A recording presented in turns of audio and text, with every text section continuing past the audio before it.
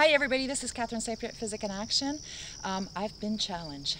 So yes, I'm in my bikini because I accepted the challenge in my bikini. It's not blue, I'm sorry. Um, just finished a 32 kilometer walk for le weekend pour vaincre les, les cancers féminins.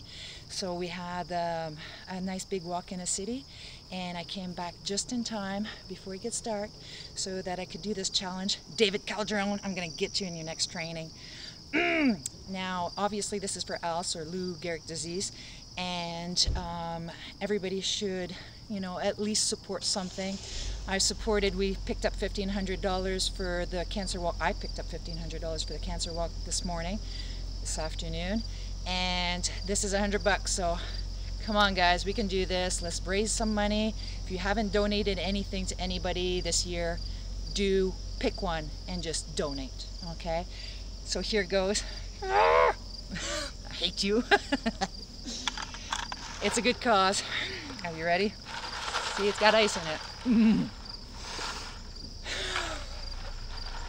Here goes. That is cold. So there you got it. That's my challenge. Now you're gonna have to look because I'm gonna challenge three more people. Hope you're on my goodie list.